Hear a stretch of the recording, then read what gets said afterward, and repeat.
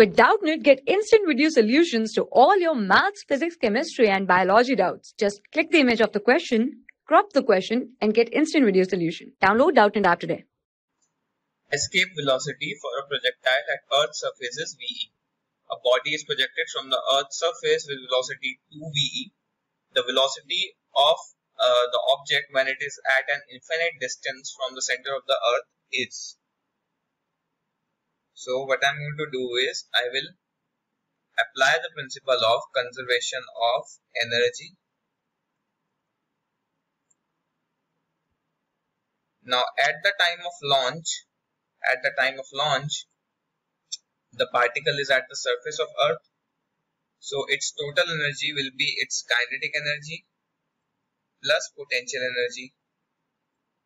So kinetic energy will be 1 by 2 m 2VE squared minus GM upon R upon R. There should be an M in the numerator. This should be equal to now at an infinite distance there will be no potential. So 0 plus 1 by 2 m v square that is the kinetic energy. There is a negative sign here because we are taking this potential energy with respect to the final point.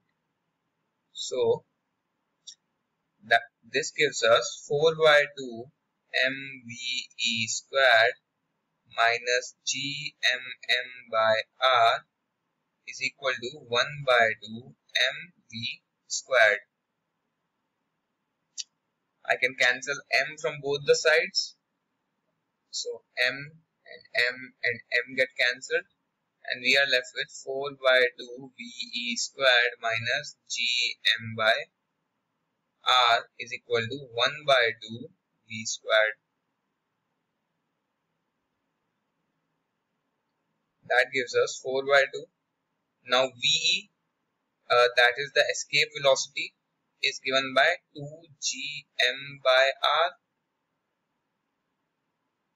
1 by 2 and since it is squared so this root will get cancelled. Minus gm by r is equal to 1 by 2 v squared. This is equal to 2 and 2 get cancelled. So 3 gm by r is equal to v square